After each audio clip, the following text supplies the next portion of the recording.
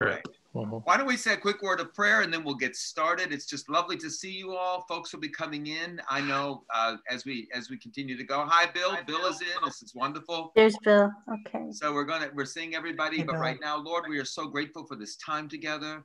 God, I thank you for the joy that's just bubbling up already in the, in this class. Just just life. God, we thank you. We thank you that you have kept us and protected us. You continue to see about us and you continue to encourage us to see and look in on one another. God, we thank you for the progress that Chris is making as he recovers from COVID. We thank you for the progress that we're seeing in Bill as he's recovering as well.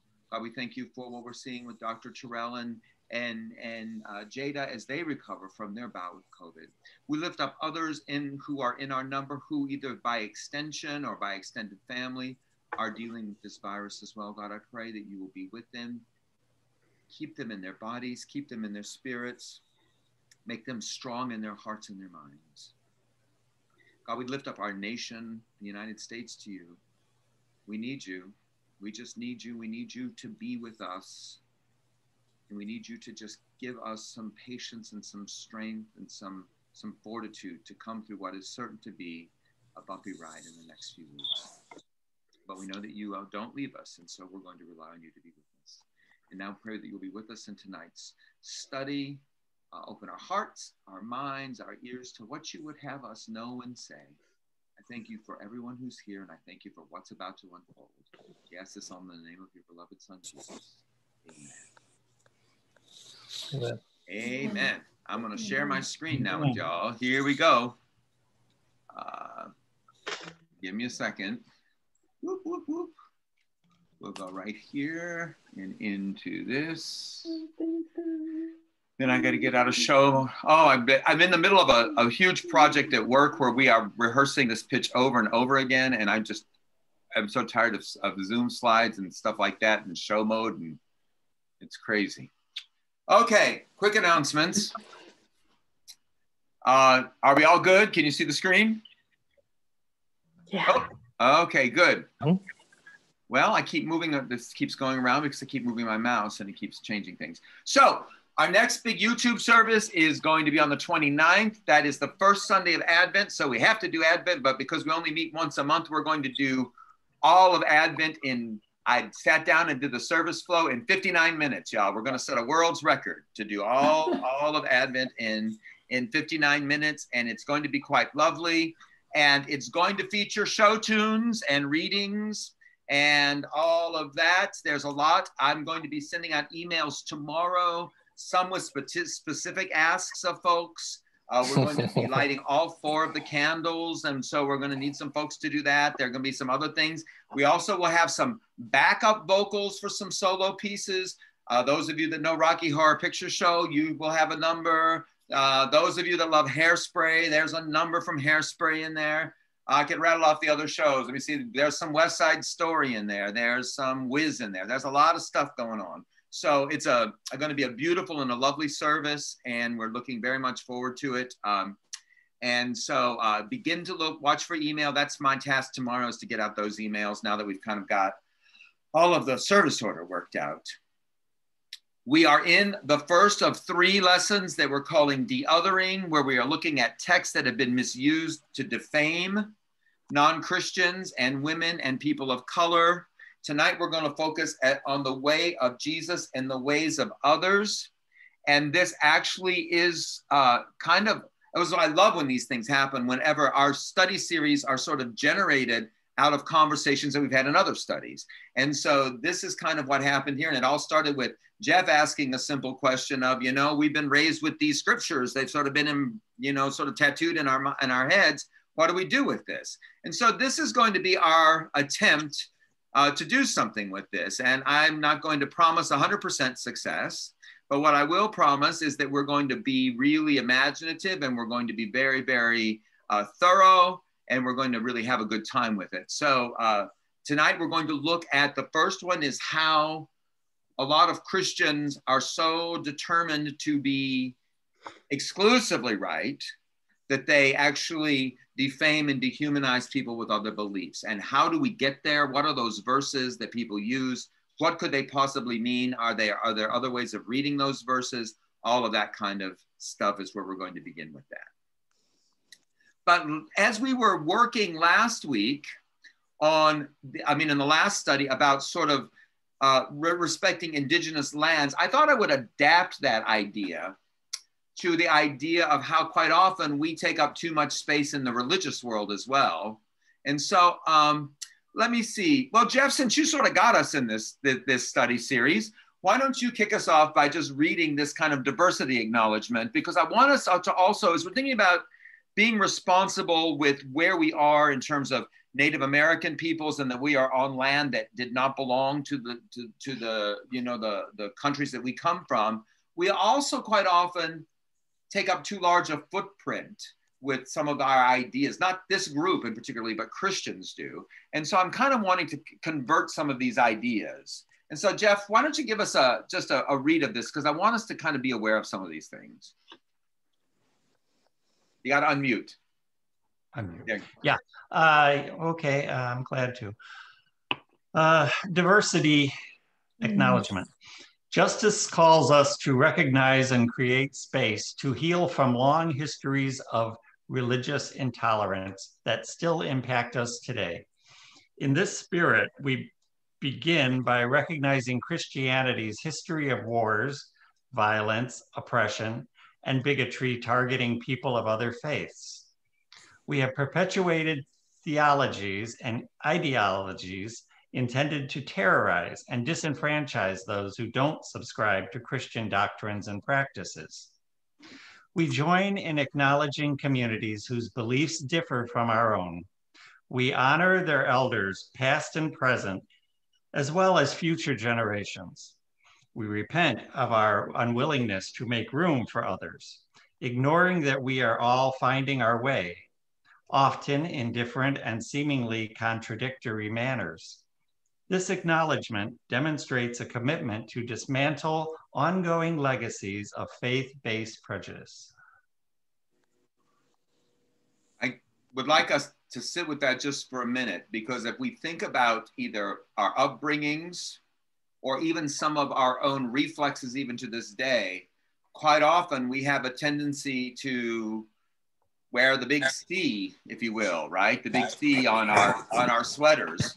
Yeah, well, we're Christians, and everybody else is that thing, you know. And I don't know what that is. That's something else. And to minimize and not understand that many of these people that, and I'm not saying this about this group, but I think we've been around Christians who tend to do this sort of thing, right? Well, you know, the Christians are all right, and, you know, I don't know about those Hindus, they've got all those gods. And just totally dismiss an entire religious system that people cherish and hold dear, that they bank their lives on and build their lives around. And there's a challenge with that. And a lot of it, to Jeff's point that triggered this entire study, a lot of that is rooted with the people doing a whole lot of ripping of scripture out of context and sort of weaponizing text that kind of give people the other hand. And so when we taught, when I was thinking about this study, and I said, you know, and Shay and I were talking about it being a study about de-othering, de-othering, it is because that's effectively what a lot of Christians do. They other people of other faiths, right? It's like, okay, there's us, and then there's everybody else. And everybody else is othered. And, and, and even uh, you can even get that sort of Southern politeness gets involved in it, you know, or that American politeness. Oh, yes, you know, I respect I respect your right to believe however you believe, but the subtext of that respect is kind of like the Christian version of bless our heart, right?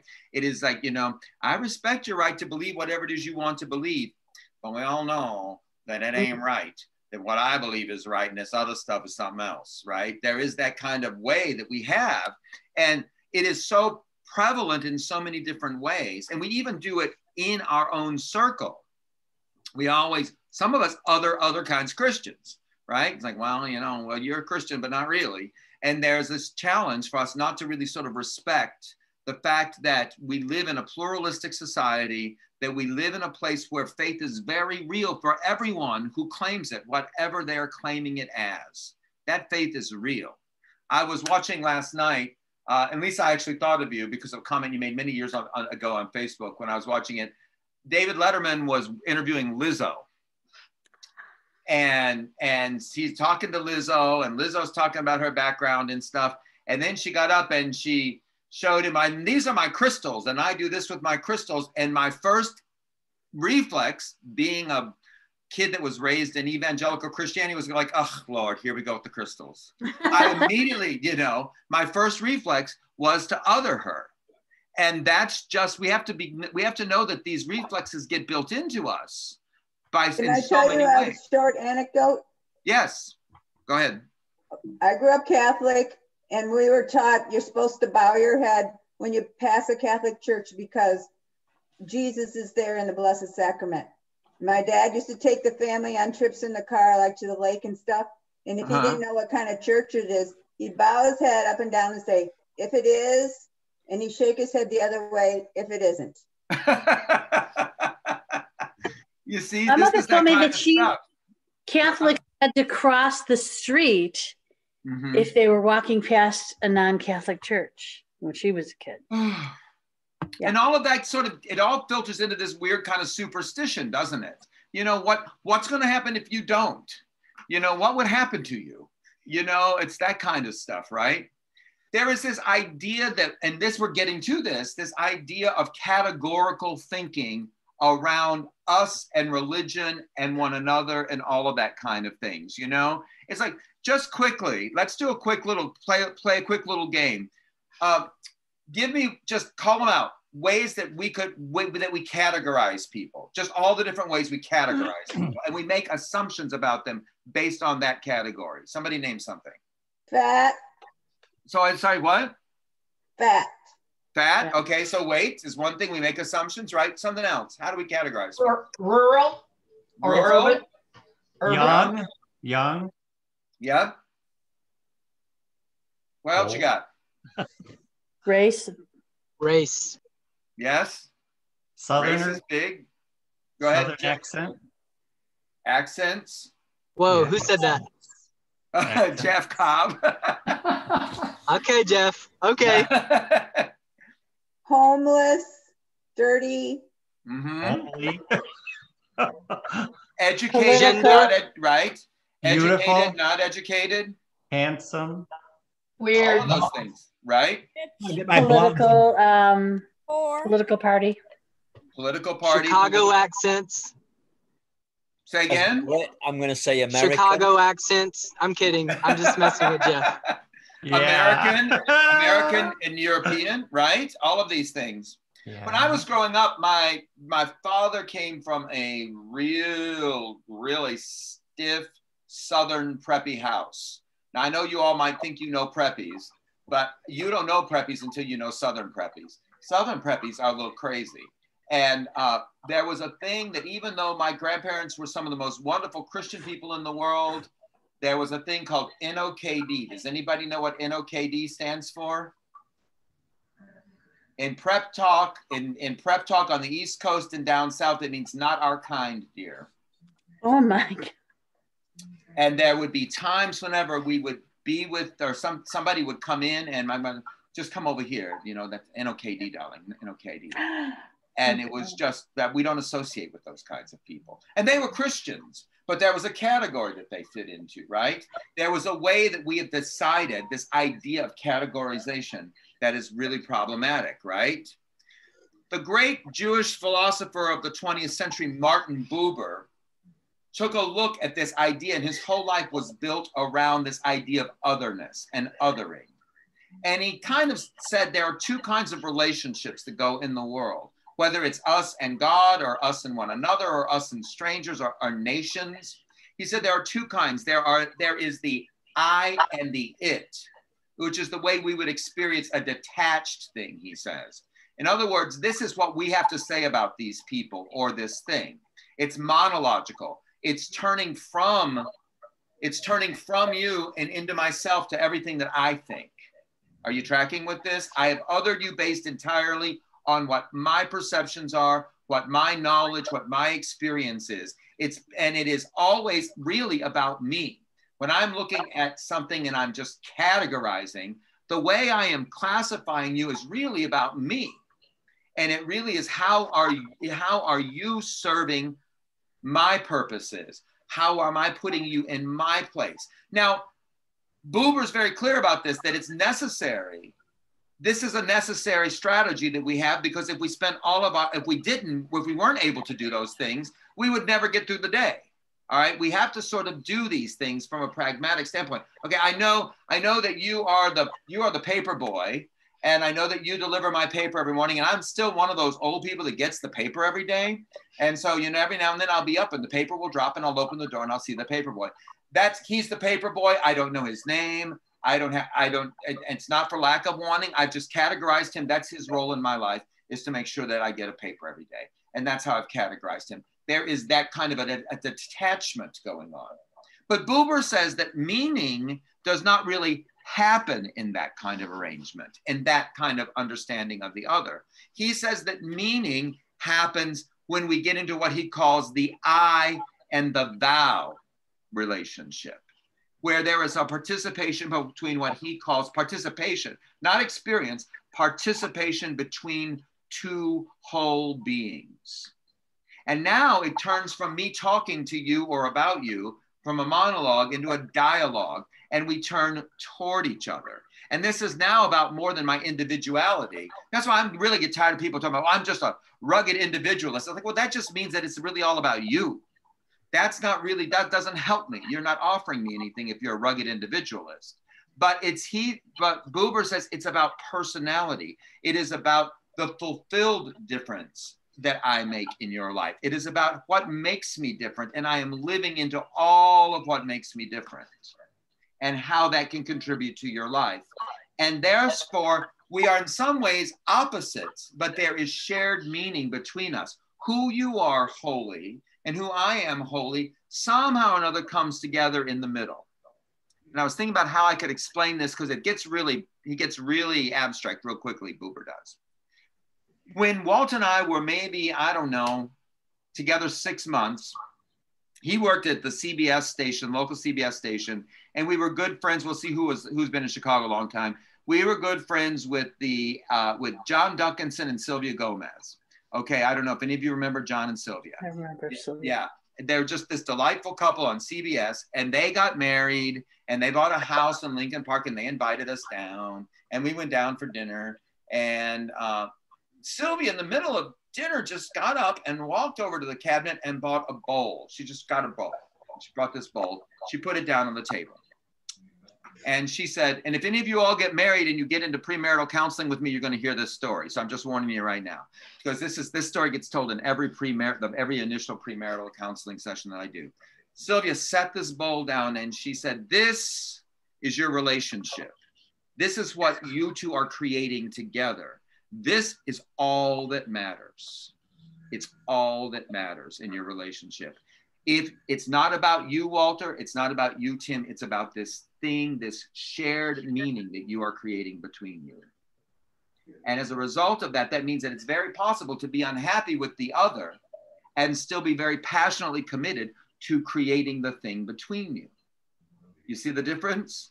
As opposed to, I'm not, I don't like you tonight. So I've been, there have been plenty of times whenever I've gone to bed and said, I'm not really happy with Walter Swift, and he's gone to bed, I'm not really happy with Tim. But we have both been gone to bed happy with this thing that exists between us because mm. that's been the thing that exists. That's what we're building. And so they said, you always got to put something in the bowl every day of your life. You got to do something that shows that you're committed to this thing that you, that's between you. And sometimes it's, you know, it's nothing. Sometimes it's, you know what, I'll make the bed. And other times it's, look, I got trip, I got tickets for a vacation. It could be anything, but it's something goes in the bowl every day. And one night we just had one of those terrible nights where I just decided I better go to bed because if I stay up and we keep arguing, somebody gonna get hurt. You know, you ever have those kind of where it's like, uh, you know, if this goes on much longer, it's just not gonna go. It's not gonna. It can't end well. So it's like, okay, I'm going to bed, and I just went to bed mad. And I woke up in the middle of the night, and on my side on the bed table there was a Snickers bar, my favorite candy bar in the whole world. And I woke up and I just got out of bed and went out in the living room where he was sleeping because there was not going to be that, it was that kind of night, you know, and tapped him on the shoulder and said, What is this? And he looked up at me out of his sleep and said, I realized that all day long I hadn't put anything in the bowl. That's the what Buber is talking about in terms of relationship between others. And I'm not holding us up as a great example. It's just a great story. I wish I were telling it about somebody else, but it's just a great story. But what he's talking about is when you bring your whole self to the other, you don't line up perfectly, you create a new, a kind of a shared meaning between you. So when we're thinking about othering, quite often what's happening when we're othering other people, non Christians or women or people of race or gay people, whatever you want to do, what we're doing is we're doing this top thing. We're doing this detached thing of categorization. We are not taking the time and the energy to engage people as whole people. You see what I'm saying? To create meaning between them. Now we're going to see how this works because Jesus' whole ministry and everything that he's about is about justice and wholeness, rescue, salvation, saving us from ourselves and making us whole. And we see this over and over again. I am the gate. Whoever enters by me will be saved or rescued, will come in and go out and find pasture. There will be food for them. They will be free. The thief comes only to steal and kill and destroy. But what? I am the gate. The gate came that they might have life and do what? Have it abundantly wholeness, bigness, all of that. In another place, you know, Jesus says, let anyone who's thirsty come to me and let the one who believes in me drink. As the scripture said, out of the believer's heart shall flow rivers of living water, wholeness, abundance, this idea. He's talking to the disciples that I've pointed, I've talked about this scripture a million times to y'all, but he's talking to the disciples and he's telling them he's about to get arrested and killed. And then he looks at this and looks at him and says, Look, I've said this to you so that you may have peace. I've just told you this whole thing's about to blow up, but I'm telling you so that you can have peace. In this world, you faced persecution. Yeah, you got some hard times, but take courage. I've conquered the world. I have figured it out. I've broken the code. We're going to love these people and we're going to love them right back into right back into life again. I've conquered the world. And so Jesus's message is all about this. Now, I want you all to look at this real quick and see if there's something else that somebody sees. Is there anything that these texts have in common? It, just look, glance at them. They're all from John, which is They're all from about John. the gospel that is about love. They're all from John. They are all from John. And John is, we're going to get to John in a minute because the text that that Jeff initially asked about comes out of John, and we're going to see how this goes. This whole idea of the promise of what Christ is bringing to us in its highest form is, is constantly over and over and over again in, in John. Jesus keeps saying, I am this and I am that. I am the gate. I am the bread of life. I am all of these things. Eventually, I am the way, the truth, and the life, which is the text we're going to look at in a minute. But I am all of these things, and they always point to wholeness and to salvation, to rescue. Now, let's keep going for a minute because it's going to get even more interesting here. How our tradition and our ancestry, though, has a very different idea about all of this. And that is that there is this idea that starts in Judaism and transfers itself seamlessly into Christian thought. And it is this idea of othering as a way of self defining and self determining. There is this idea that comes out of the ancient Hebrew mindset that the, the, the, the, the, nation of Israel is God's chosen people. There's scripture on top of scripture throughout the book of Exodus.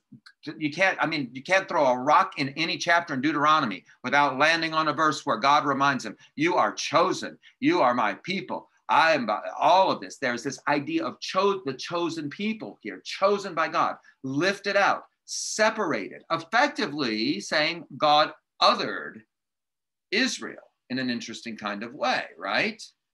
And then this carries over because we forget that Christianity is a, began as a Jewish sect.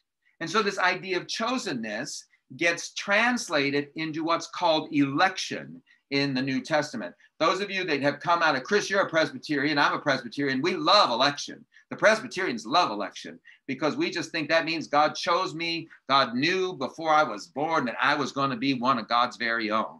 You know, there's a lot of that in mainline Protestantism. The, some of the fancy words, predestination, these ideas that there's this God has already picked me. God picked me.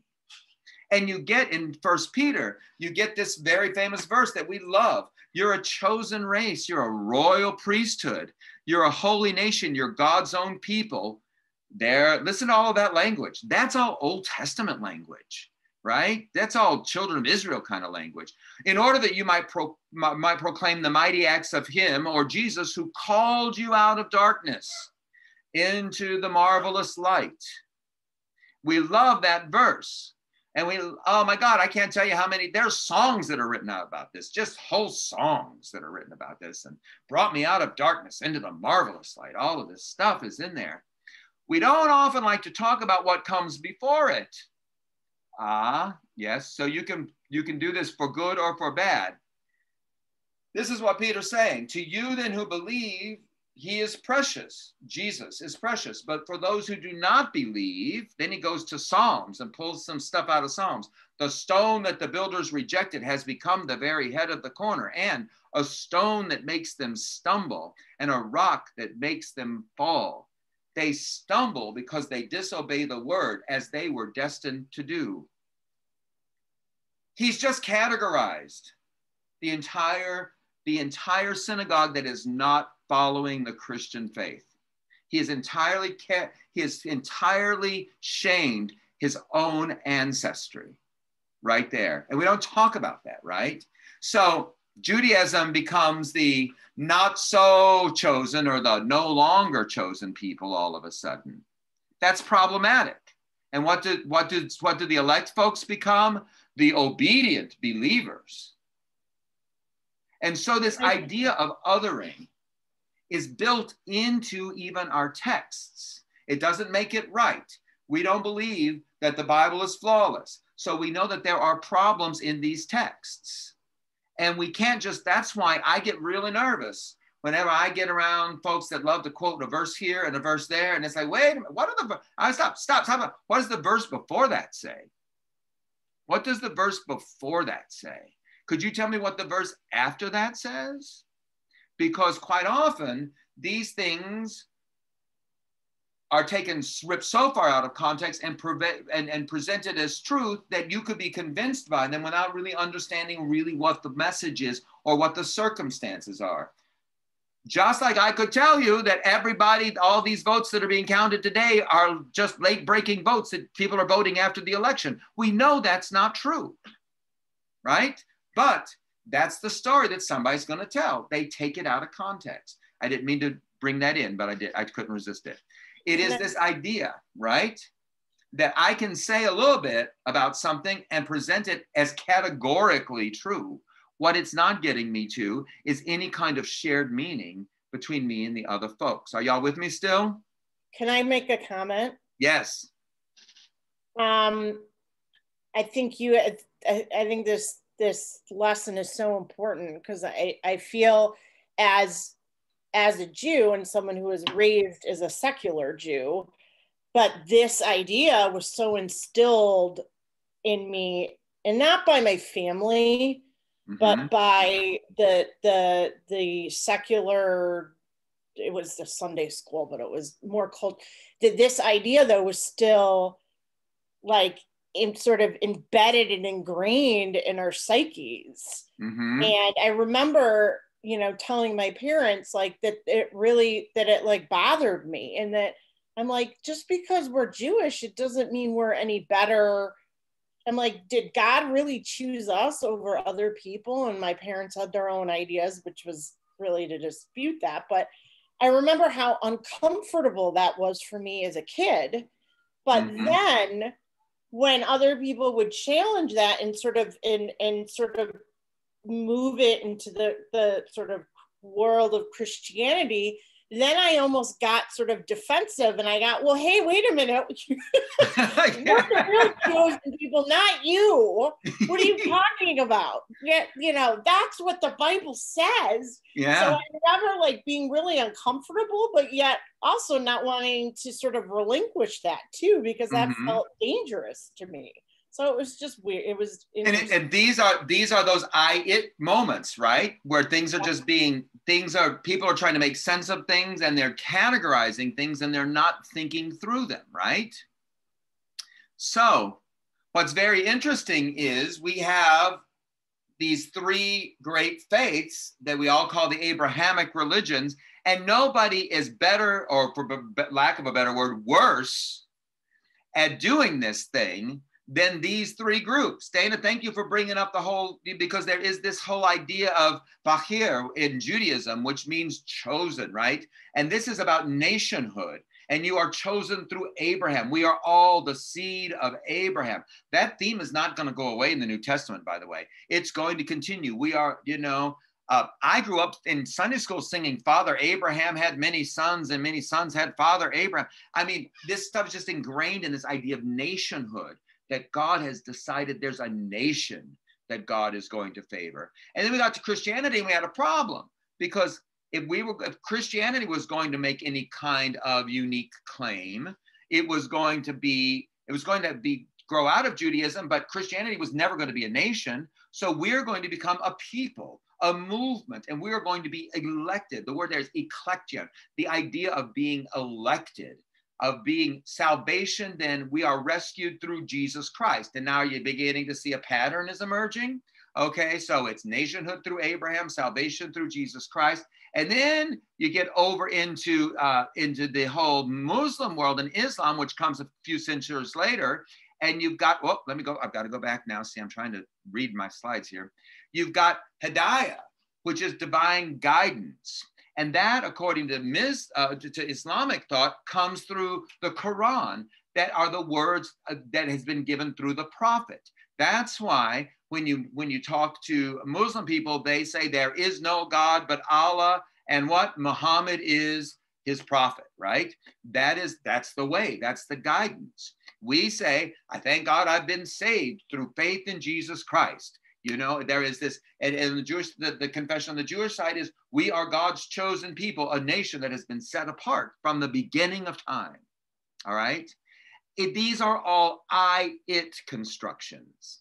They are not I thou constructions. They would say, Who are you? Let's talk to one another. Let's find meaning. Uh, meaning. And in use, to use a, a familiar kind of seminary term, Shay, I apologize because I know you're still studying and it gets a little brutal sometimes there's this idea of what we call over against.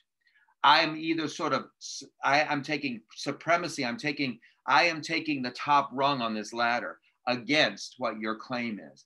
None of, of these over against ideas in our faith, these in and out kind of ideas, not one of them leads to wholeness. I will say it one more time. Not one of these ideas that puts me in opposition to you leads to wholeness. I think that's what our nation is struggling with right now. We are all on one side or the other, and nobody's thinking, is there any meaning we can create between us? And we are all feeling incomplete right now for that very reason. We are not finding ourselves to wholeness. Now let's keep let's keep going. So now you get to the clobber texts that are not aimed at LGBTQ people, these are very common clobber texts that get aimed at people who are not followers of Jesus. The big one, of course, that, that, that Jeff quoted, that we can, those of us that grew up in an evangelical circle, can, and, and maybe most Protestant circles can quote in our sleep. Jesus said to him, I am the way, the truth, and the life. No one comes to the Father except through me. At the risk of being cavalier and a little coarse about this. It's it's what it's Christianity's equivalent of an SOL statement, isn't it? It's just like, oh, too bad, just too bad. If you don't if you don't get in this way, that's not how it's going to work. The other one, when you start looking up salvation through Jesus Christ, if you Google it, that verse, and then Acts 4:12, those are the ones you can always show up. They will always show up. And that is Peter and John. They've just healed the lame man at the temple, and they've been called in front of the Sanhedrin, the Jewish council, and they're giving, they're explaining how they were able to, to heal this lame man who was unfit to go into the temple. Now he's healed. And in the middle of this they're saying this is this is all by the power of jesus. This is this jesus that you kind of stood by and let get crucified. This is this jesus who nonetheless rose. This is this jesus who gave us power. And then they say there is no other name under heaven given among mortals by which we must be saved. That's another one of those oops too bad for you kind of statements. They make folks nervous. Now i want to be very clear i want to say something very clear here I'm a Christian. I am a Christian. Gather's a Christian church. I believe in Jesus. I am a big, big, big, big, huge Jesus fan. My, I have committed my life to Christ. I have done that. Okay. I, I, that's who I follow, and that's where I take all my teaching from. But at the same time, I don't think that Jesus expects me to follow Jesus in, a, in such a way that I make other folks of other faiths feel other than. You see what I'm saying? And Jesus himself didn't do that. Jesus just talked to everybody. So, who we claim for ourselves and the way that we are going to participate in our faith, that's fine to own that. You shouldn't be ashamed of it. You should own it, but you should own it in such a way that it is not harmful to other people. And that's where we get into trouble. We all know John 3:16. For God so loved the world that God gave, right? His only son that whosoever believes in him I keep wanting to do the King James version because that's what got tattooed in my head for a long, when I was a kid. Whosoever believeth in him should not perish, but have everlasting life. And you just keep going. For God sent his son not into the world to condemn the world, but that the world through him might be saved. You just can all of that in John 3 when he's talking to Nicodemus. Then you get into First John 5 and 12. Whoever has the Son has life. Whoever does not have the Son does not have life. Then we go over to Jesus. Uh, I'm going to go to the far right where Jesus is talking to uh, to Martha when he shows up and and Lazarus is dead, and he says, "I am the resurrection and the life. Those who believe in me, even though they die, will live." These are some very big, seemingly Christ-specific kind of claims, and then you get the one that uh, you always use as part of the plan of salvation if you're taught the plan of salvation growing up, right? If you confess with your lips that Jesus is Lord and believe in your heart that God raised him from the dead, you will be saved all of these texts, if they're ripped out of context and not used properly, would suggest that it's like, uh oh, if you don't get on this bandwagon, you're never going to find God. So, Tim, mm-hmm. when I was in school, somehow we had this question, or we made it up. What if there was life on other planets? Would they have they had their own Jesus or they just out of luck? That's the problem, right? That's the question. Let's not even go there. What if you were had the what if you had the bad luck of being born in China 500 years before Jesus showed up? We all know that the Chinese dynasties were in place. So what if I just happened to be born in what is now modern Beijing, but I was born there BC, you know, before the Christian era, BCE 600. Am I out of luck? What if I am living today in, you know, somewhere in India where I have no contact with any any Christian understanding at all? Or the Amazon. Or the Amazon. Or at the top of Finland with the Lapps, right? Or some of the some of the other native peoples that we've talked about where is all of how does this work lisa yeah well I, it, you know and i always think to myself um you know like my my sister-in-law who's a very traditional christian and i i, I would think if she lived in jordan mm-hmm. she would be you know she would clearly be like a mainstream muslim right yeah. and so so but like all of those people that are just living the faith that they happen to have been born into. And if it's not Christian, so what does that mean? Mm-hmm. Doomed? You know, that's the problem, right? Well, you know how I deal with have dealt with it all these years, Tim. You know, uh, coming mm-hmm. from Pentecostal church and having these things drilled into my brain. Yep. Um, uh, just only short of a real drill. Mm-hmm. uh, the pain. Uh, but um, yeah, it's uh, uh, uh, the way I come to terms with all these verses is I don't believe it. I believe that God has um, can see more than just the we see in three dimensions. I think God sees in other dimensions. Mm-hmm. There's got to be some way that God knew their heart or 500 years before Jesus. There's some way that God knows. God doesn't think like we think. I, I just, it can't be that surface. That's... Didn't Jesus say something about people that don't know God, but they have in their heart? Jesus says it's out of the abundance or the fullness of your heart that your mouth speaks, right? And it's not, you know. That people are getting into heaven that because they had they have truth in their heart, but they have never been exposed to. Well, there, Paul says in his in his letter to uh, to the Romans, uh, is it the Romans or the Corinthians? I'm now I'm just showing how how rusty I am with my Paul, my early Paul. But um, he's just I know it's in Romans where he says that the Gentiles, meaning non-Jews, have an innate moral understanding of the very same things that the law would want to say. That he says that the law is written on the tablets of our hearts. We have an innate understanding of right and wrong that is that that is plenty enough, sufficient enough to guide us without us having to understand there are all of those 603 commandments, right? Of, uh, in, in the Hebrew Bible, you don't need all those. If you just have, if you have a good a good moral center and a good moral conscience, you should fulfill what the law is expecting and what the law is laying out anyway, right? But Jesus also says something very interesting whenever he's talking to the disciples. And again, this is in John. He's talking to the disciples and he's telling that he has he's going to go away and you know he's going to be taken from them for a while. And then he says something that oh, oh when you throw this one out it just kind of puts everybody in all the it's like it's like a bunch of race cars hit a grease spot and everybody starts spinning. Because it's this it is i have sheep in other pens or pastures and i must bring them also. And he says this to the disciples because i'm going away and he effectively says, I got to go see about some other folks. I have sheep and other pens or pastures. I must bring them also. And then he doesn't he doesn't belabor it. He doesn't stop and say, let me, you know, let me, I'll send you the footnotes on this. None of that.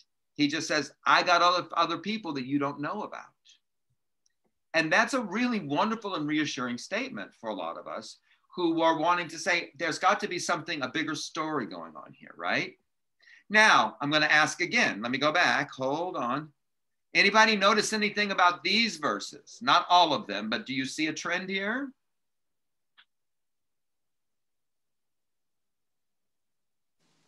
More John. More John. Lots of John.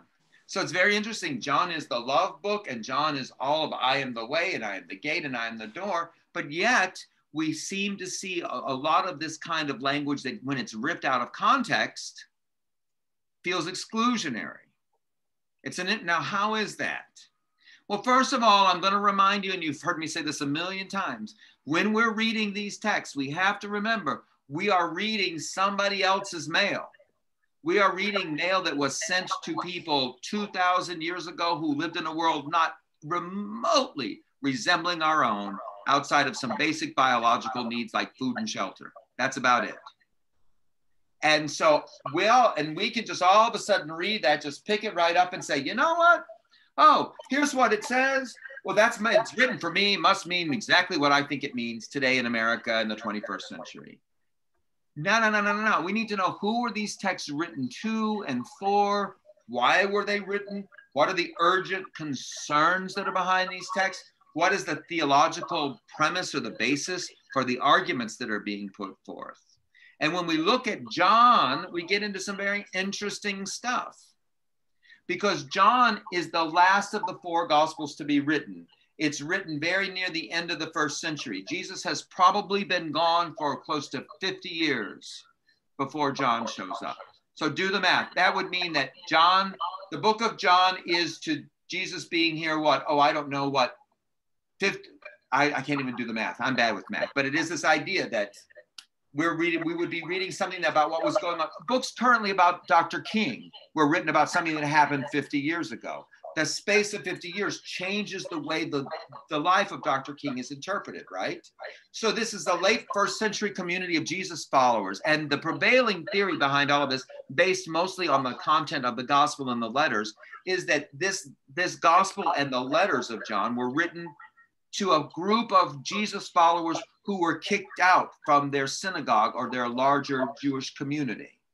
It was just that this bunch had just had enough Jesus this synagogue had said, that's enough of the Jesus stuff. Thank you very much. Y'all go get your own thing started. And so there's a very heavy anti Jewish tone throughout John that is really hard sometimes. Jesus is always fighting with the Jews, and it's always the Jews that are causing the problem in John. And Jesus is now set up as not a rabbi, as he is in other in other Christian sects that are growing up in Judaism. Jesus is the rabbi whose teachings they follow in Judaism. No, no, no, no, no. When John comes on the scene, Jesus is the only way. That's it, y'all. That's it. We are not, we are not, we are done with trying to navigate this. We are putting all of our chips on this.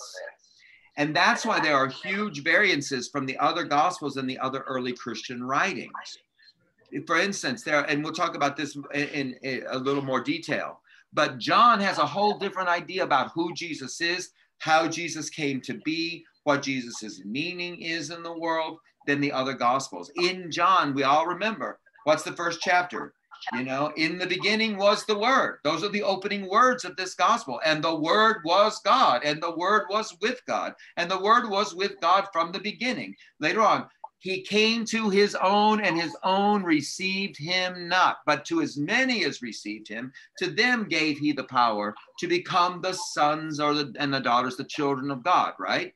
There is that all of this text comes in this idea of Jesus being already this being God as God and the logos and this idea of the word is actually a Greek notion. It's not borrowed from the Hebrew culture, it's borrowed from current Greek culture, that there is a reason, a logos, a word behind the cosmos, a logic to everything. And, and John is saying, this is who Jesus is. And that's why Jesus is the only way you can forget it. This all they didn't receive him, forget it. Just forget him. We're moving on. And so I'm being hard about it. I don't think that because John writes a whole lot about love. I'm not. I'm just trying to be really dramatic with you, understanding that there's a there's a clear break here that we don't see in the other gospels with the Jewish community. There's also tinges of what are the early seeds of Gnosticism. And if you know anything about Gnosticism, every now and then I wind up at a cocktail party stuck with a Gnostic, and it gets really difficult because they know all these little details of stuff. The Gnostics, though, had this way of making hierarchies. The Gnostics loved to other people because Gnosticism was based on knowledge. And the more you knew, the more privileged you were, and the more set apart you were. And there were all of these sort of ladders, very much almost like modern Scientology, all these different levels that you went through in Gnosticism and ancient Gnosticism. And you would get this high up and you would have these encounters with angels. And all of this stuff was going on in Gnosticism. And this idea of enlightenment was a really big idea in early Gnosticism. And so the Gnostics would look down on anybody that wasn't as smart as they were. Thank you very much. And they were very just brutal about it. They would just other these people. And that's why, and sometimes later in Christian writing, you say, don't let those folks get in your, don't let them get in the church and start talking that stuff because it will turn, it will hurt people. It will create division. There's one scripture where Paul says, just mark them if they come in and start trying to cause division. And so there are tinges of this idea, though, in John that's very interesting that takes Gnosticism to a place, it kind of borrows that idea of there's an elitism that kind of goes through John. And this idea of the Logos, that is the word with, that's with God before creation, Jesus is the cosmic reason made flesh. We beheld his glory. And throughout John's gospel, we keep seeing the writer lift Jesus. In fact, Jesus actually says, if I get lifted up, from the earth, I will draw all people to me. And it's a reference not only to being exalted on the cross, but being exalted above all other things, right? And there are all these statements where Jesus keeps saying, I am, I am the bread of life, I am the way, I am the gate, I am the good shepherd. And he's echoing the voice of God. If you're if you are a Jewish listener, you hear I am who I am, because that's the voice that God says to Moses from the burning bush, burning bush. Who sent me? Tell them I am sent you. And Jesus takes that in John. We don't see that in any of the other gospels. In fact, in Mark, Jesus is presented as sort of this scruffy rebel po- prophet. You know, he's got this north this North Shore movement, and not in the good sense of the North Shore. Sorry, Harriet, no offense to Deerfield, but it's a different kind of North Shore. It's a, you know, it's this whole idea of the North Shore being where all the, the common people live. And that's how he's presented in Mark. He's impatient. He wants to get this show on the road. He, he wants his people to, to get a hold of this. In Matthew, he's the promised Messiah. Matthew is written specifically to people that are awaiting the, the arrival of their Messiah. And in Luke, which is written to Greek Christians, Jesus is seen as the supreme savior. Jesus holds a position that in ancient culture, Caesar would occupy. But in John, Jesus is the only way. And that's all there can be to Jesus. Jesus is not contextualized in his time at all in John. He is precedes and he stands apart from, and he is often, he is a unique person unto himself. This is what we call high Christology. This idea, and I love, I love it all. I'm not, I want to be very clear. I'm not disparaging John, but I want us to have all of this context because when we read what Jesus is saying in John, it takes a certain kind of tone because John is portraying a certain understanding of the ministry of Jesus, the life of Jesus, the death and resurrection of Jesus, and what Jesus means. And it's very, and it's tempered by the nature of the community. Now, I got almost all pilgrim folks here tonight. Out in the other gatherers, they're off doing whatever they're doing. But I got the pilgrimers here. There's a certain way that you all have created your community there's a certain character to Pilgrim that is so, I love, you know how much I love Pilgrim.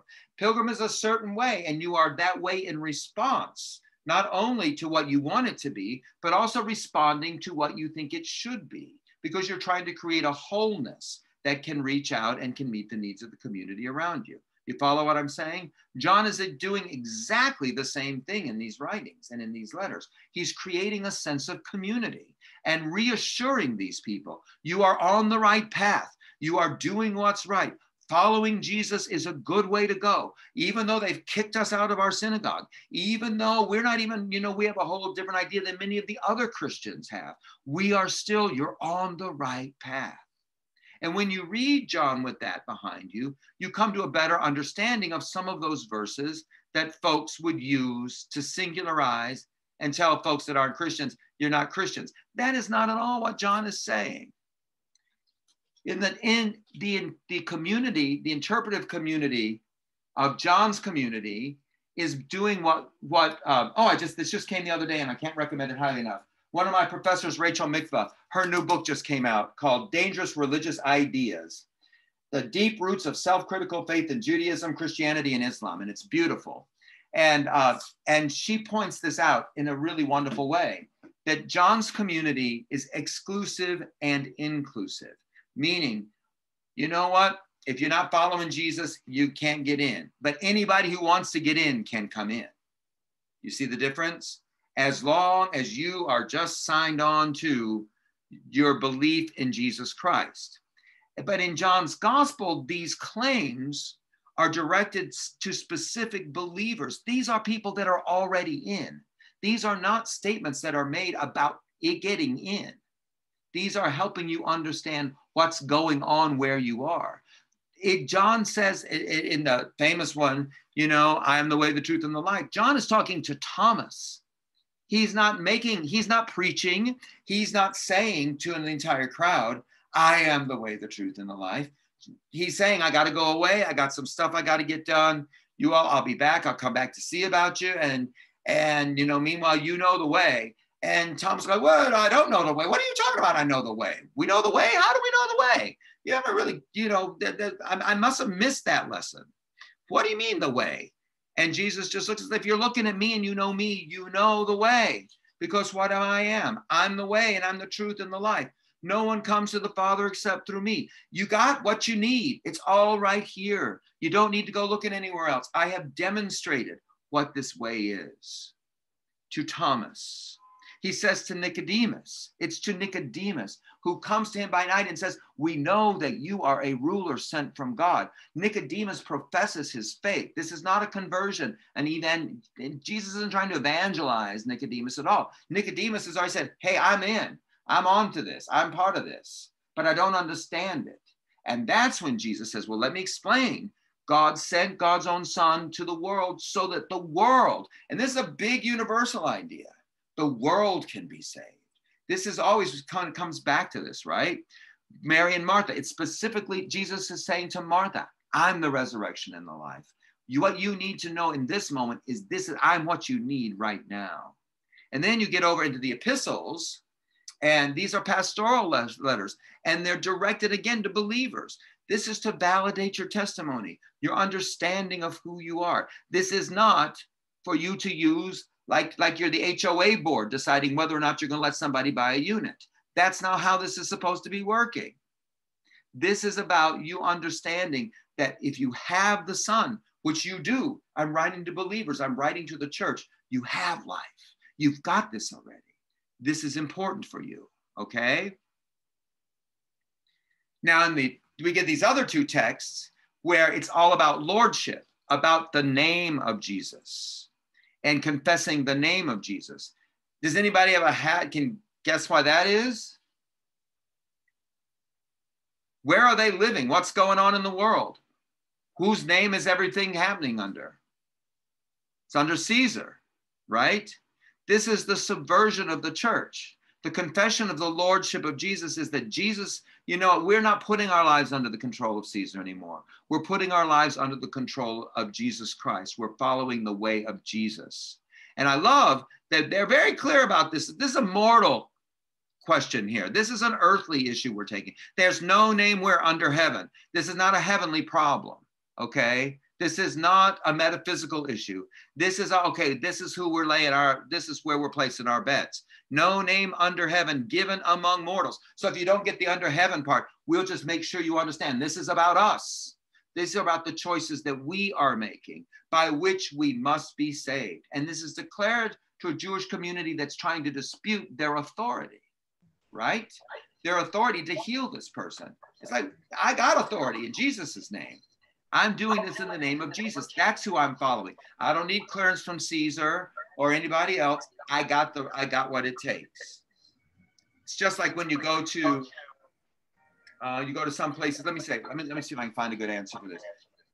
You go to one desk and they say, look, this is not the right desk for this thing that you need. You need to get this cleared up. Wrong desk. You don't need to get this. But tell them, tell them that Marianne sent you and go over and you tell them that Marianne sent you, and just go tell them right when you get there. They'll put you to the front of the line. They'll take care of it for you. It's just that basic. This idea of the name of Jesus is a name that gives us authority. That's why we pray in Jesus' name, is because that's on, on the authority of Jesus. Paul is writing to the Romans, and he's just saying, you know, look, Uh, his message to the Romans is always the same. Well, excuse me. It's always faith, faith, faith, faith. Without faith, it's impossible to please him. Faith is, you know, faith comes from hearing. It's always faith, faith, faith, which is trust. This word means trust. And so it's in all Romans writing, he's writing to the churches that are, this is the hot, to be like writing to churches in DC during the era of Trump saying, just keep believing, hang in there, trust, trust, trust, trust, trust, right? And know that this trust that you have placed in the name of Jesus and Jesus is your alternative to imperial power. You have been given, you've been empowered with an alternative. And it's incre- it's this confession of trust here. If you confess that Jesus is Lord, that means I got no use for Caesar. Caesar second. He gets to come second. You know what? I've got I've got my faith has been my trust has been placed in something higher and greater. These texts that people will use to say if it's only Jesus and you're not doing it are all inflating what the original intent of these texts are. Uh, is, am I making sense to anybody? Yes, indeed. But I have a stumbling block. Uh, okay. I, I, have a little story ahead of time. When I was in junior high school, the principal gave us a value lecture when we graduated, and he said, uh, "You'll become either a stum- a uh, a stepping stone or a stumbling block." And so I've lived with that since junior high school. So uh, the stumbling block that I want to point out here is that part of uh, the uh, stumbling blocks of Christianity is that it was designed in a in a autocratic and and under uh, under Caesar.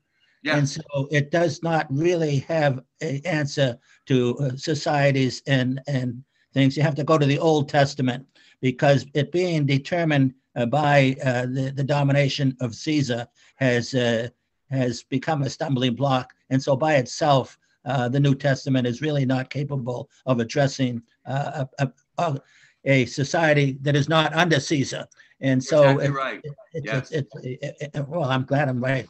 Thank you. No, you are. No, you are because we the the, the the the ethic that drives Christianity is rooted in its in its Hebrew roots, right? It's, it's in the Old Testament. It's where we find the ethic of community and faithfulness and the way that we build and lift one another up. Because really, the texts that we have in the New Testament are all subversive.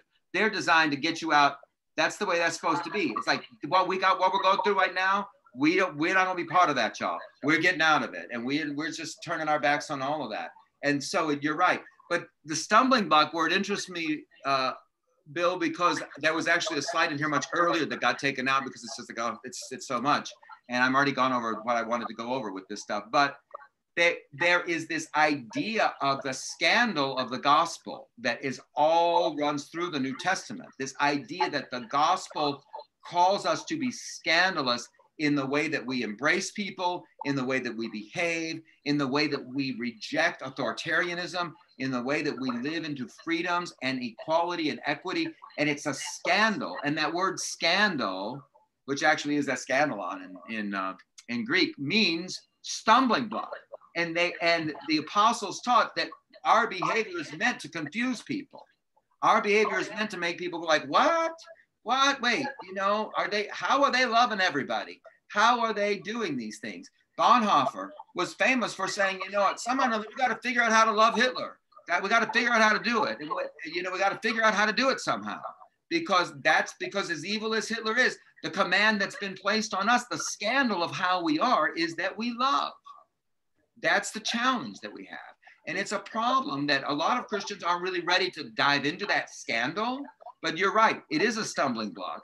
The, what makes it scandalous is that we are rejecting any sense of earthly power that would supplant the power of God that we exercise in the name of Jesus, right? But the community that we are built in is deeply rooted in the ethos of the Hebrew community. And all of those ethics and all of that understanding of what fairness is and justice is, is rooted in the prophets and the law. That's why Jesus said, I didn't come to destroy them, I came to fulfill them. So that you got this, you got this sense of what this is. Now go take this thing and turn it, turn the heat on the love and go for it. You're going to get killed for it, but go for it and see what happens. And so there is this and so I love the idea that the gospel is a stumbling block. I love that I have some friends that just can't get over my faith. They just, they just, it's a struggle for them. I love that because it means that that's something that's like, I just can't figure it out. It's like, can't help you there. It's what, they will know us. Yeah, right. Exactly. Exactly. Amen. Fools for Christ. I'm, I'm all over that, y'all. I'm happy for that. Mick, what did uh, you say, Shannon? What did you say, Shannon? They will know us, right? They will know us. They'll know us by our love, right? Yes. By this will all people know, right? If you have love for each other, not even for everybody else, just how well you're getting along with each other, right? That's kind of an interesting idea. Rabbi Mikva in her book says, you know, that, that we should think about Christianity along with the other Abrahamic religions as a self-critical faith, that we should always be pressing it and examining it and asking questions, and we're not afraid of that. So it is not just a belief system that's been handed down to us. Other religions are this is what it is, just believe it, right? But in Judaism, Islam, and Christianity, they're unique in the fact that they are what we call self critical faiths. Their first question is always, What is truth? And they understand truth as not necessarily a North Star, that's fixed. But sometimes truth becomes a move. You have to get them, you have to work with it. Truth is not always settled forever and ever. Truth, what's true today, look, I'm I'm not gonna tell you how old I am. I'm old enough to know that what was true when I was 14 is not true today necessarily. Okay. Things have changed. We are constant, the world is in flux always. Then there are some things that are timelessly true. I still believe love makes the world go around. I just do. That's just a timeless truth for me. But there are other things that are that are I was like, hmm, that used to be true, but not so much. I used to believe that folks cared more about relationships than possessions. I don't believe that's true anymore. I'm hoping it might be, but I just don't believe it's true anymore. And that's just that's me. You know? I used to sing a hymn, I would be true for there are those who love me. Uh-huh. Yeah. who trust me. Yes.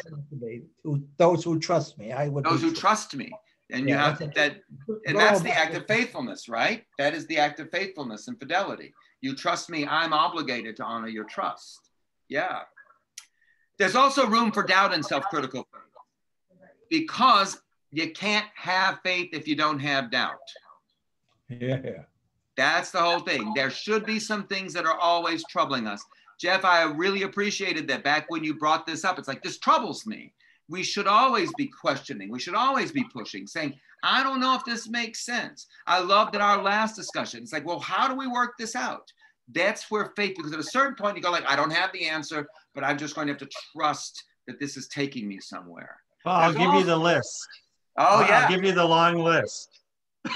and, and, so that means you're a person of great faith. I must be. yes, indeed. That's the way that works, right? Then we also need to be alert to the potential harm and exaggerated emphasis that we can come on. I think that a great example, we can look outside Christianity. There's plenty to talk about in Christianity, just even today. But there's also things that we can look at. For instance, we know that uh, Islamic terrorists are doing this in the name of Allah, but they're they are doing harm, and it's an exaggerated emphasis that is out of keeping with the teachings of the Quran. We know this. So we don't categorize all of Islam as terrorists. That's foolish, right? That kind of stuff. So we're always alert to the potential harm, and we are always questioning our capacity to succeed. That's got to be a big part of our faith. Can I can I get over this hump?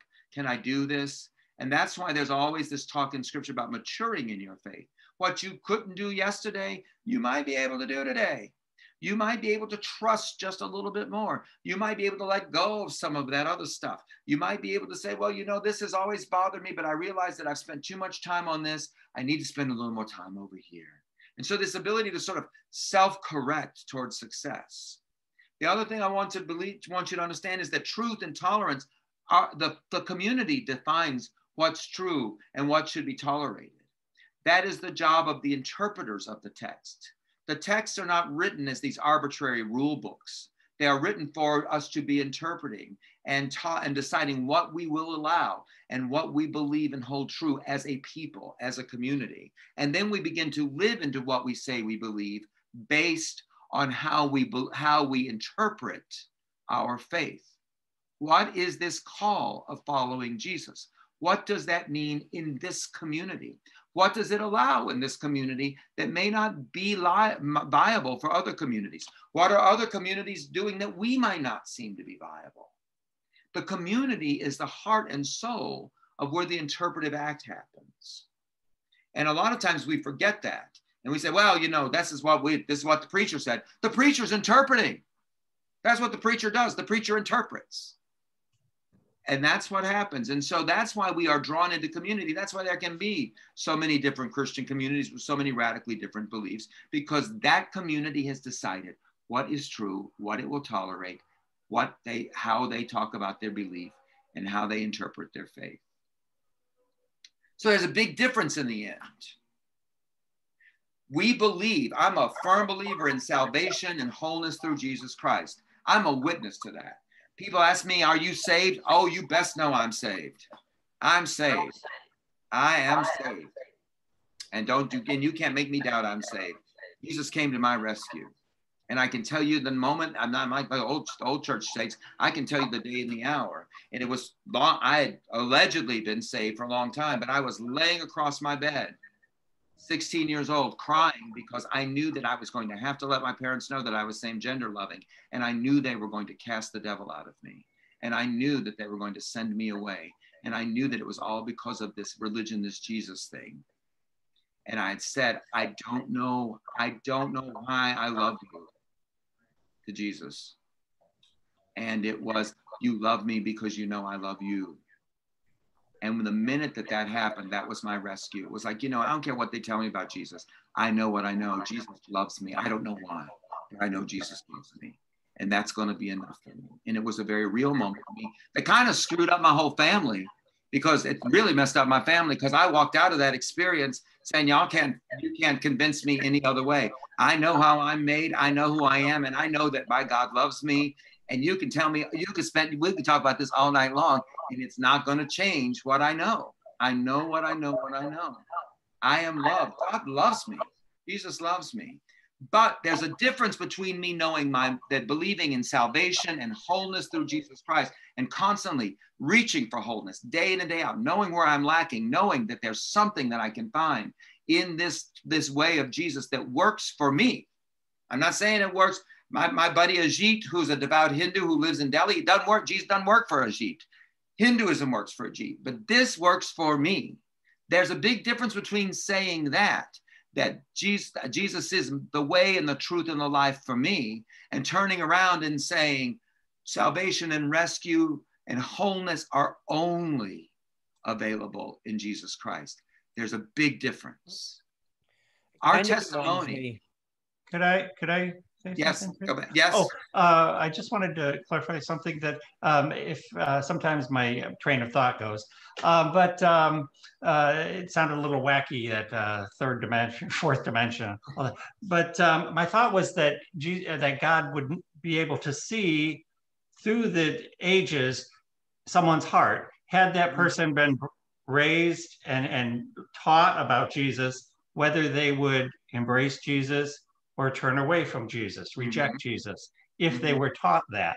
Mm-hmm. Um, uh, and, and, so that's how I get around that is mm-hmm. that um, God knows your heart. Only God, God knows, knows heart. the heart. And, what, and God can see through time. And yeah. had somebody been raised and had the knowledge, if those 500 years prior, that yeah. particular one person knew had been had the knowledge would they god can see whether they would have embraced or would, whether they would have rejected. Yep. Um, yep. being raised in that. So people today who who know about jesus and all they don't accept jesus. It's they weren't raised with that. God can see their heart. Did they if they were would they turn or would they embrace and the, and the question is also now this gets into a whole other area which is how are those of us that are following Jesus presenting Jesus to the world, right? I have a lot of friends who were raised in the church and got up and saw how Christians are behaving these days and go like, yeah, never mind. Never mind. I'll just, you know, I'm just our gonna... modern our modern Christianity is so different than what it was 2000 years ago. It totally um, was. Yeah. So all kinds of Bill and I were on the phone the other day. I, I, I was talking about how Christianity had changed. Like around yeah. around 1000 right around the feudal era there are these radical changes in christianity. And i know that we're not to judge so that kind of takes the pressure off me. Completely. It, it, kind of reminds me of um i'm, I'm thinking of uh, megan phelps roper who left westboro. Mm-hmm. and yeah. and and the what led to her leaving Westboro when when she talks about it is the love and compassion that a certain group of people had whilst at the same time she was being trolled by by lots of liberal christians mm-hmm.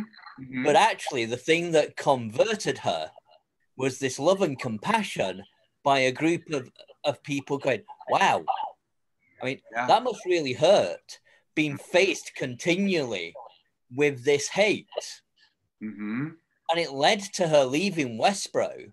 Yeah. And he also talks about, you know, leaving Westboro was was was massive. Yeah. Anyone leaving a cult, when you leave a cult, you're on your own. Yeah. And and well, you walk into a world where people hate you. Not only that, you're also leaving a cult in which hell is very real because all they're talking about is hell, right? Excuse me. Some of us came out of traditions where hell is very real. And, you know, I, I've told the story. I think I actually preached about it once. My first grade teacher in Christian school, who, when nobody would cop to the fact that they had misled us and we all stayed out for an extra 15 minutes of of, of uh, recess and she wanted to know who started that story that recess was an extra 15 minutes and why were we so late getting back in line and everything? And nobody would cop to it. She said well if you don't tell us who if you did it you, and you don't say you're a liar. And all liars have their place in the lake of fire that never goes out. She was threatening first graders hellfire because somebody had told a fib. That's nuts that's absolutely not. I'll bet it worked. well, we all then I I did what about half the class did. We all like, wait a minute, maybe I did say something. I don't think I did, but just I don't want to go to hell. And all of a sudden, everybody's hands went up, and then she couldn't. It was like now we're all Spartacus. I mean, it was just chaos. You know, this whole notion of, of, of what's going on. When you live on that kind of edge, that's a real problem. I'm not going to take a lot of time with this, but if you ever, I want to call, some of you know this scene, and I want to show you how this scene often gets overlooked when we start talking about Jesus as the only way and all this kind of stuff. This is Paul, and he's in Athens, and he gets taken out to the Acropolis, and he starts talking to them, and he says, You know, by the way, I was roaming around your town, and I saw an altar inscribed to the unknown God. Well, this is who I'm talking about. Well, what? That's what I'm talking about. And look, you know, we believe in the same things. You know, it's like from even from the beginning, he made he took one person and made an ancestor from uh, you know this one ancestor. All nations grew up, you know, and we are all doing. This goes back to Jeff some of your points and and Mary some of your questions. We would search for God and perhaps grope for Him and find from. Him. This is a universal thing that's going on, and even your own poets have said we too are this God's offspring all of a sudden Paul's like saying, yeah, let's pull, let's take the fences down, y'all. Let's recognize what this is really about. If Jesus has just came to be adored, that's one thing. But Jesus has already said, I'm the way, I'm the gate. I'm supposed to get you to God. And if that's the end game, getting to God, then we don't need to be so worried about what the gate is necessarily. And that's where we get ourselves lost is trying to keep everybody in one on all in our lane. And I'm frankly, there's just too many people in this lane already, if you ask me. We don't need a whole lot more people in this lane. We need to get the right folks in this lane who make some things move instead of spend there trying to kick everybody else out of the lane. And so that's kind of the way it goes. So there is a difference, and I'm going to just get this very quickly. When we think about our faith, we think about it as a particularity. This is particular to us what we believe. It's particular to our time and our place. Again, I just happen to be born in America in the 20th century in a Christian house. Dana happened to be born in the 20th century in America in a Jewish house. That's the way that works. Some of us were born into agnostic homes. We were, this is it's particular to our time and our place and our cultural understandings and our traditions. And we need to relish the beauty in these particulars. The story of Jesus is beautiful to me. There is no greater story you can tell me. That's beautiful to me. I love it because I was raised in it. My culture supports it. I was taught it. I weep when I think of what God has done for me and what Jesus means to me. I shout sometimes. I laugh. There is so much about my relationship with Jesus that's particular because of the time and the place, the culture, all of that. But there's also a universal understanding also that we have to understand. And that is that what we believe can never be at the expense of others whose culture and time and place and traditions lead them to a different path and a different understanding because it still comes back to what Paul says. We would search for God and perhaps grope for God. There's something bigger than the path and our own path. You know, there's the many idea. They all all paths will lead to the same place. Once we accept that me being on my path, I can come at it either two ways. I can categorize you as a non-Christian and spend all my life trying to get you into my category and keep telling you if you're not in my category, you know, too bad for you, so sorry. Or I that's the it, the I and the it. Or I can look at people of other faith as the I and the thou. I am finding wholeness in my faith. I'm assuming you are finding wholeness in your faith. What can we do to create meaning between us? What can we do that binds us together? what can we find? And it's going to be the same things, by the way. It's going to be love, and it's going to be justice, and it's going to be peacemaking, and it's going to be care for the planet. Those values are common across all the faiths. And so a lot of us have been, we've got these triggers that we've got to untangle in our heads about anytime we hear people talk about this. And it's not about getting out into uh, you know i'm a big fan of interfaith stuff but it's not about creating a civic event where we all get together and we let a muslim pray and we let a jewish person pray. And let, that's not what i'm talking about. I'm talking about active participation with people of other faiths and accepting them and honoring their faith and their ancestors and their future generations just as we read at the beginning so that we can create meaning in this world. I was watching the uh, the the um okay, I'm gonna shut up. But I was watching the the election coverage the other night, and I was watching my favorite channel, and you could probably guess what it is. And it, and uh, and Dana was up, uh, you know, watching with us because we all live in the same building, and we had dinner and watched it together. And I just said to her, looked her somewhere, I said, they are not talking about any of the concerns that are driving right wing voters. They haven't mentioned any of the concerns. They have just written them off. And there are people that are deeply impassioned by questions of abortion and courts and uh, you could uh, whatever you want to talk about that we always want to be dismissive of. We're othering them, just like we other people of other faith, just othering them. Oh, they have that. Oh, you know, the Buddhists don't even have a God. Okay, we'll leave that alone. Oh, they have that. Othering them instead of saying, wait, let's bring our whole selves to this. There's some meaning. There's got to be some meaning we can create out of the wholeness of who we are, as opposed to me saying, This is my category, I'm over here, you stay on over there. And that's what I love about this place and everybody here is we just like everybody, just come on in. We're everybody come in and be whole, and we're going to create meaning between us. We're not going to worry about categories. I'm going to close with one of the great 20th century saints, Dietrich Bonhoeffer, who asked famously, Who is Jesus Christ for us today? And he asked that in 1939 to pastors in Germany who were struggling under the weight. This was the subversive church that was not going to give in to the Caesar of their day, to Hitler. He said to them, So we have to figure out who is Jesus Christ for us today. And when we think about this idea of how non Christians get othered, it's because I think Christians have not grappled with this real question Who is Jesus for me today? Who is Jesus for us at Gather today? Who is Jesus for us as Christians in the 21st century today?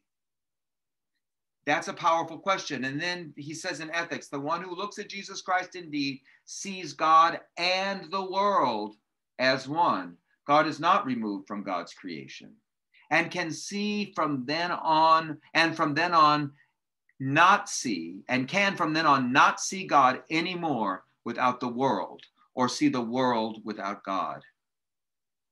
Who is Jesus Christ for us today? It is a God that opens our eyes to plurality, to all of the different ways that God can be expressed, to all the different paths that can lead to this great maker and creator that we call God.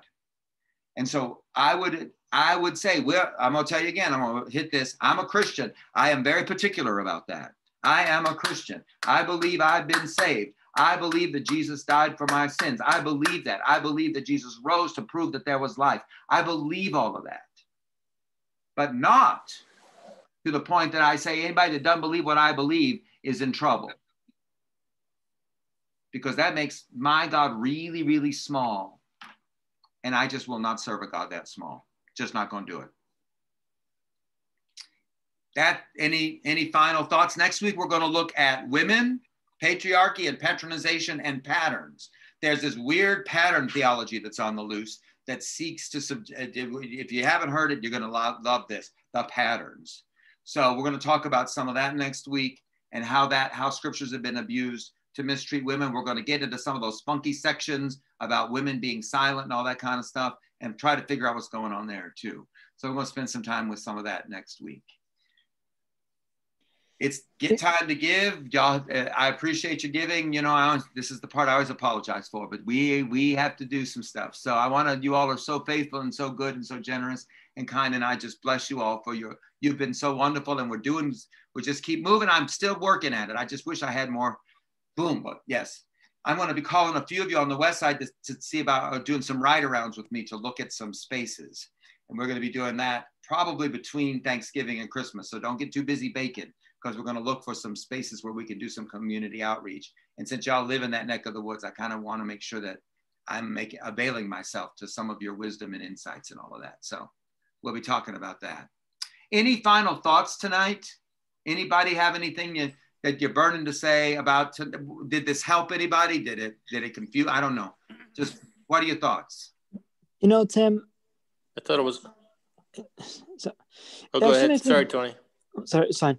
It makes me sort of happy that we look at other faiths in this in this community of gatherers because as I said before, it like we come from like traditions that are really like conservative and really radical. Like like what Chris was saying, I heard about that story, mm-hmm. and I found it just so amazing.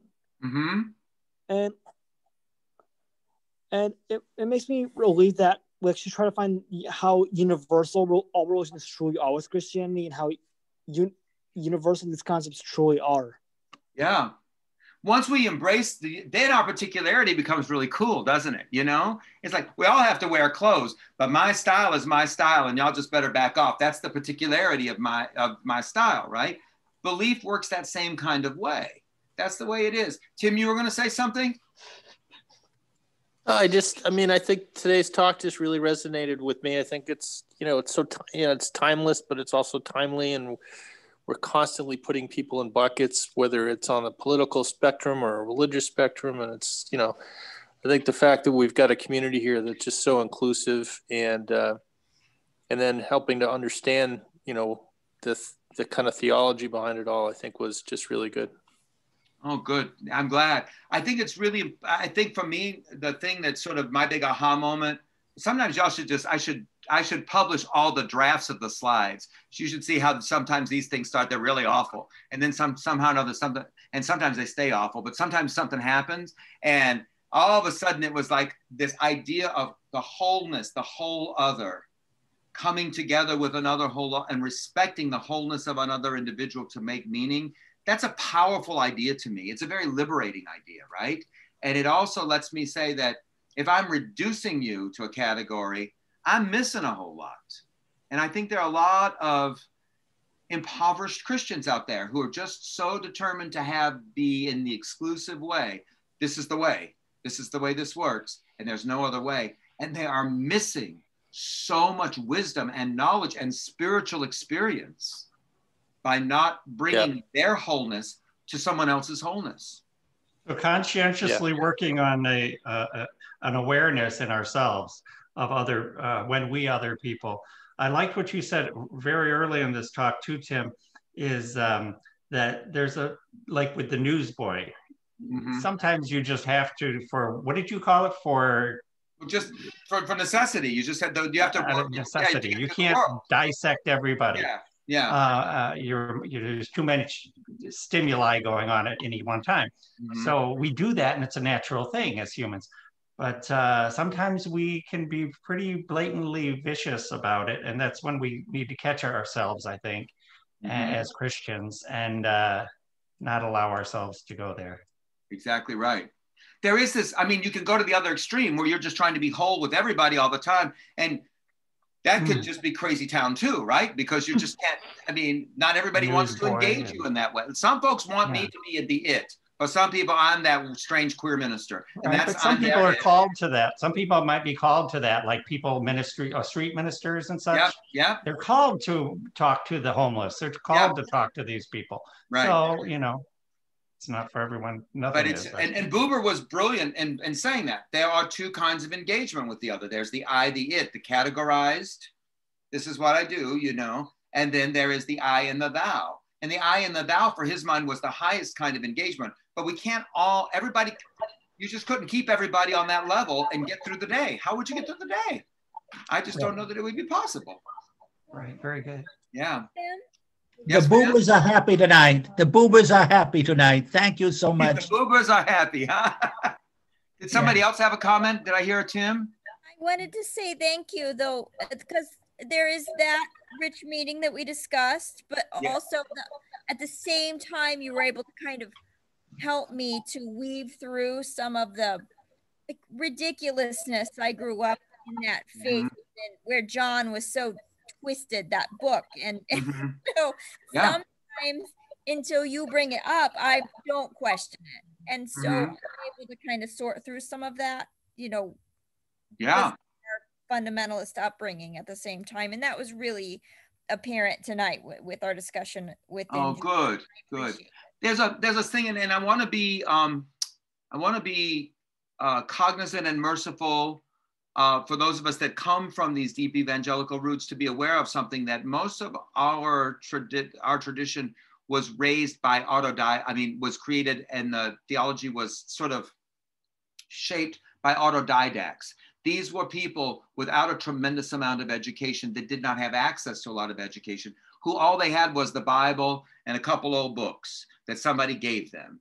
And they're reading and trying to figure this out. And they are also meeting constantly because evangelicals love to go to church. So they got to preach all the time and they got to get this thing kind of codified and put picked out, you know? And so what that does is I'm, and I'm not being critical. I, I, there's a part of me that is very, I bless them because they also put a tremendous fervor and love of scripture into me, right? But at the same time, they were making a lot of assumptions. And then when they would, when you could say, well, there's more to this, then they where the, the problem is is no they just throw the curtain. Never mind. I don't need to know i don't need all that learning. Well that's the problem then right? But the these initial impulses a lot of them spring out of a i'm reading this and as far as i know this is what it's saying. Without knowing that this is what how this book came into being. This is the these are the forces that shape it. They didn't have they weren't looking at ancient greek. They weren't looking at, at historical circumstances they read Jesus as Lord and they don't connect that to Caesar.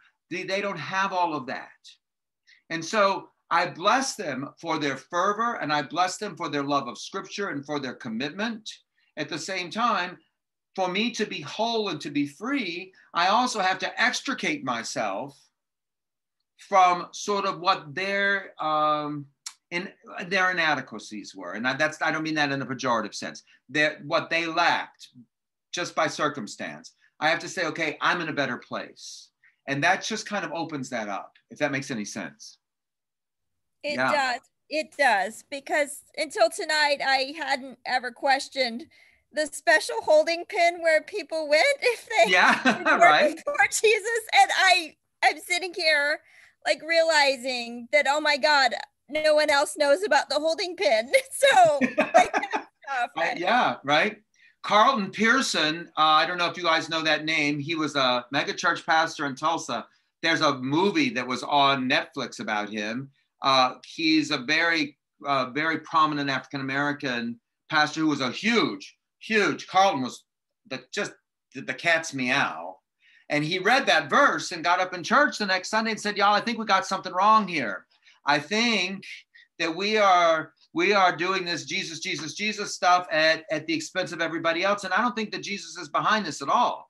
And when I read this, this seems to indicate that we've got to make room for all these people of other faiths and people who don't behave like us and act like us. And he had a church of several thousand people, and the next Sunday he had like 60 people show up.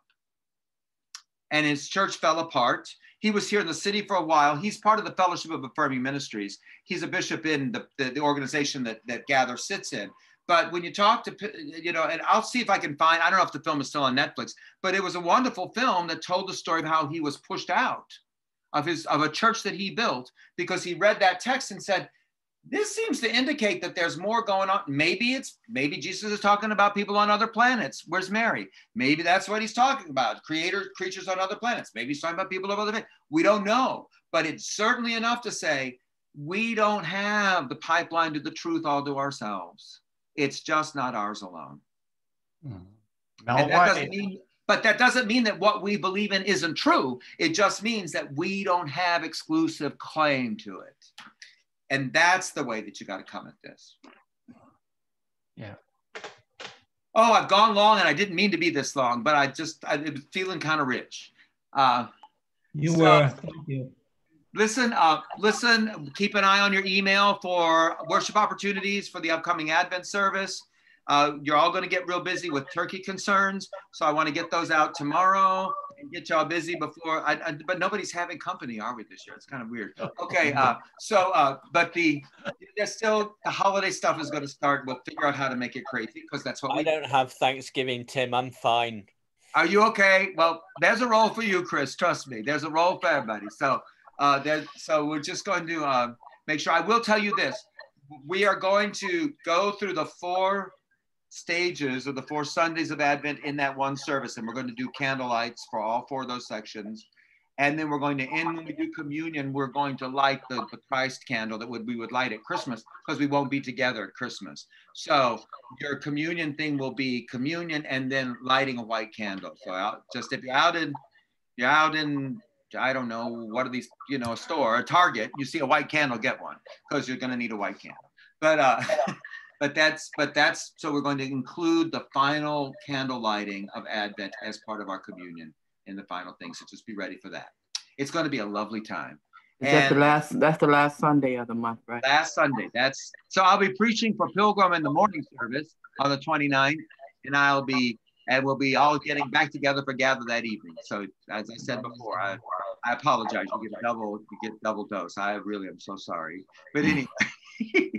we will uh, this time i'm going to let you all go lord we thank you for this time together we thank you that we can all occupy enormous space in our hearts and in our spirits and in all around us that you have made that we can bring our whole selves together and make meaning as a community god we're so grateful we thank you that your wisdom leads us to love and to honor and to respect and to make space for the other so that we can learn and see you in the work that happens between and among us.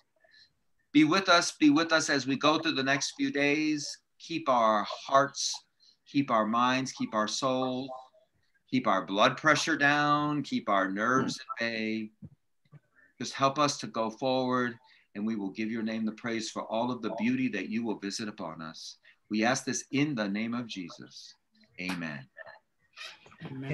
Amen. Amen. Good night, all, and we will see you all. Have a wonderful weekend. Keep the faith. Keep the faith. all right, everybody. Hi, and bye, Marcella. She left already. Okay. Bye, you guys. Bye.